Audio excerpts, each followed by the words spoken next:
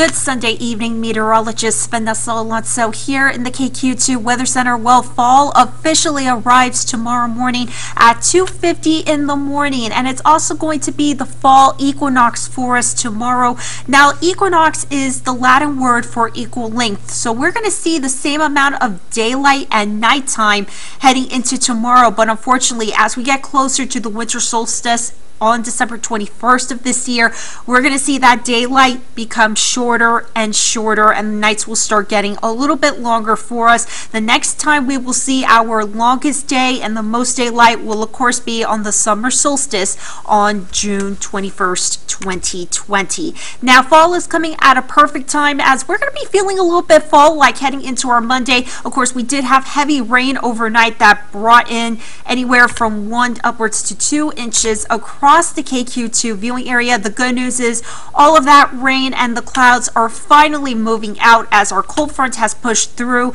northwest Missouri and northeast Kansas. High pressure will be building in over the next 24 hours, which is going to bring in some very pleasant, nice weather and a lot of sunshine heading into our Monday. We're now getting a northwest wind behind the cold front that has ushered in some cooler, drier air. Right now we're sitting in the 60s. We're going to be in the upper 50s by tomorrow morning as you kick off your work and school day. So you may need the light sweater and the light jacket as you head out the door. Also, be aware that we could have some fog developing heading into early tomorrow morning. So you may want to leave home a few minutes early to work in school and slow down on the roads. But heading into the afternoon, it's going to be near picture perfect out there. Lots of sunshine. Temperatures tomorrow topping out in the upper 70s. So here's a quick look at your KQ2 hour by hour forecast. Again, we're going to have a light northwest wind, which is going to bring us in the clear skies behind the cold front also Temperatures already will be in the upper 50s, but again, we do have some lingering moisture from the rain from last night and this morning,